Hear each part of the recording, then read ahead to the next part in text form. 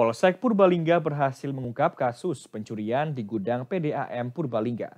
Petugas berhasil mengamankan satu tersangka dengan barang bukti puluhan meteran air PDAM, karung, sandal, dan sepeda motor.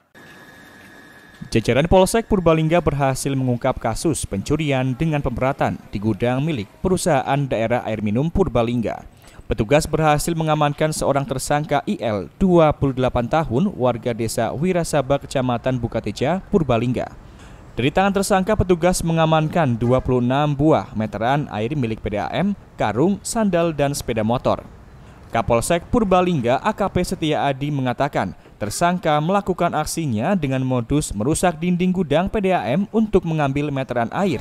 Pelaku eh, dengan modus operandi yaitu pelaku masuk ke dalam ruang gudang dengan cara meloncat dan e, mengeluarkan barang-barang hasil curian atau water e, ini dengan cara merusak dinding gudang yaitu yang terbuat dari kalsibot. Selanjutnya barang bukti yang sudah kami amankan antara lain 26